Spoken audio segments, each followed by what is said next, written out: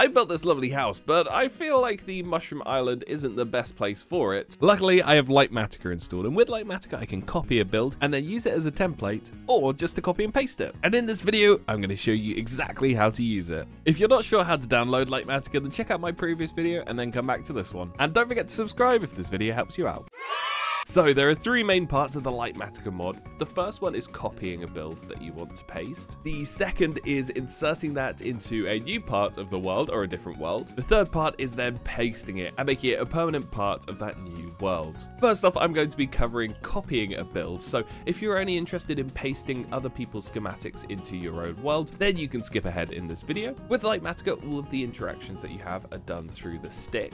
It's just a regular stick, you can grab it out of the creative menu. And when you hold the stick, you can see in the bottom left of our screen, it comes up with this little box here. As you can see, it says mode 1 out of 9 area selection. And so there are 9 different modes that you can use with this stick. And you can shuffle through them by holding control on your keyboard and then scrolling with the scroll wheel on your mouse. The main ones we're going to be covering in this video are area selection, schematic placement, and then place schematic into world. So that's modes 1, 2, and 5. So first things first, let's select this build. What you want to do while holding your stick, go to mode 1 out of 9 and select the bottom corner that you want to be building from. You do that by holding the stick and then left clicking and right clicking and that will create the selection area. As you can see that will include this side of the build and this side as well without anything hanging out. And then what we want to do is come to the opposite corner. So we left clicked that point down there and now we just need to right click this top right block and that will select this whole area. One thing that's really cool about this mod that may be helpful is you don't actually have to be up close to click the block. You can actually just look at a block from really far away and right click, and that also works exactly the same. So you can see that I'm clicking all the way over there and it's selecting just this area. So now that we've selected the area that we wish to copy, we now have to save this. And you can do this by pressing M on your keyboard. This will bring up the Litematica menu and you have a few different options in here. The main ones we're going to be looking at are the schematic placements, loaded schematics, load schematics, configuration menu, and then area editor. What you want to do to save this schematic here is press on area editor and this will bring up this menu here. All you need to do now is just press save schematic and give this one a name. I'm going to call this cool house and below that you can see our schematics file for all of our other schematics that we have installed. So now that I've typed in the name of our house, there are a few other options on the right here. The main one we're going to be looking at here is ignore entities. If you tick this box here, here, it'll basically ignore all mobs inside of the build, as well as other things like item frames. So let's just press save schematic, and you can see that that has now been added to our schematics folder. And now this has been added to our schematics folder, we can go and paste this somewhere else. We can paste it between worlds or within the same world, so it doesn't matter where we want to go and paste this. Let's hop into a different world, for instance. So we are in a whole brand new world. Let's grab our stick again. So now we need to paste our schematic into our world. And if you're using a schematic that you found online, you're going to need to paste that into your schematic folder. You can do that really easily by going onto your computer, pressing the Windows key and typing percent app data percent. Once you press enter, that will bring up your roaming file and in here you can find your .minecraft file. If you've downloaded the Mod already, this will be simple stuff because you already put your Litematica file in the mods folder. But what we're going to look for here is the schematics folder. It's just below the mods folder and if you double click that, you can see that all of our .litematic files are loaded in here. If you've downloaded a schematic from online, you'll need to copy and paste that schematic into this file. And then once that's in this file, you'll be able to find it in Minecraft. So now that we have our schematic saved, let's get this pasted into the world. And the first thing you need to do is again, grab your stick, then press M to bring up the Litematica menu.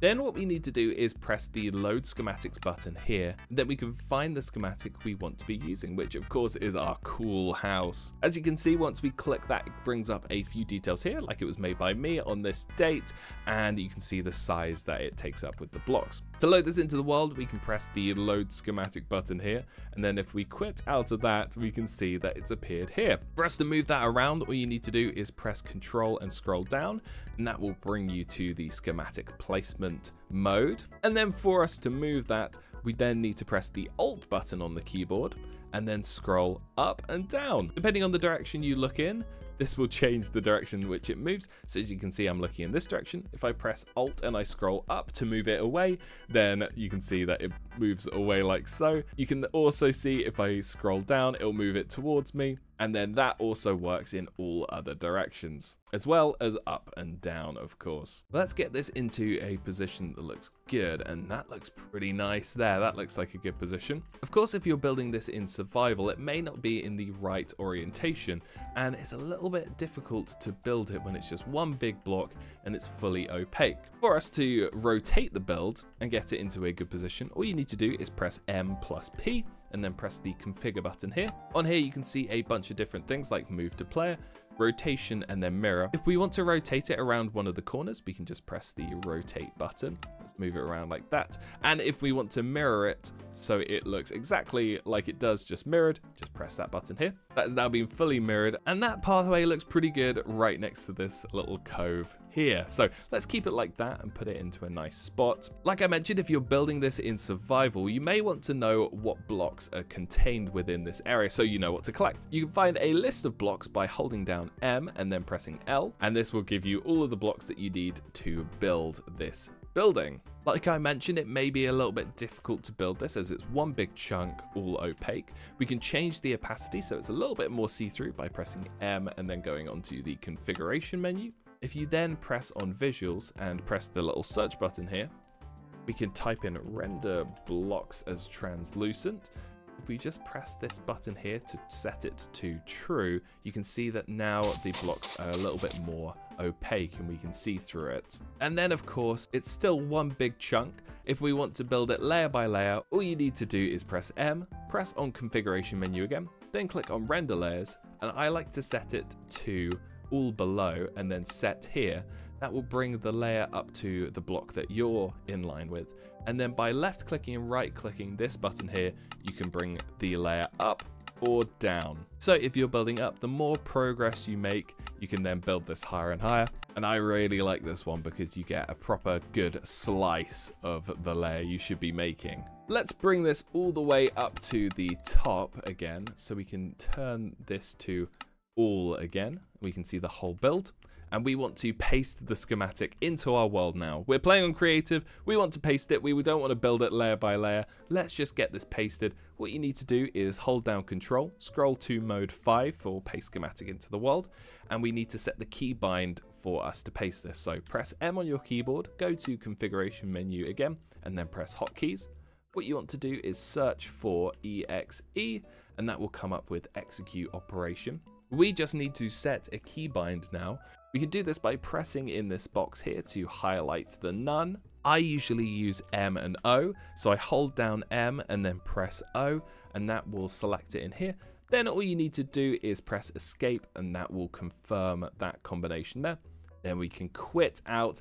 And now that we're in paste schematic in world mode 5, you can hold down M, press O, and that will paste the schematic there. Of course, it's still got the outline for our loaded schematic, and we can remove this by pressing M, going to loaded schematics, and just unloading that one there. When a new Minecraft update comes out, it's the perfect time to start a new server with your friends, and there's no better host than Shockbyte. Click the link in the description and use code SaminUP at checkout to get 25% off your first month of your Shockbyte server. Thank you all so much for watching. I really hope that this tutorial has helped you guys out. If it has, don't forget to drop the video a like, and make sure to subscribe to the SaminUP channel for more awesome Minecraft 1.21 videos. And also, if you have any ideas for me for future videos, then make sure to drop them in the comments below, or if you have any more comments or suggestions for me, make sure to also drop them in the comments. Thank you all so much for watching, and I'll see you in the next one.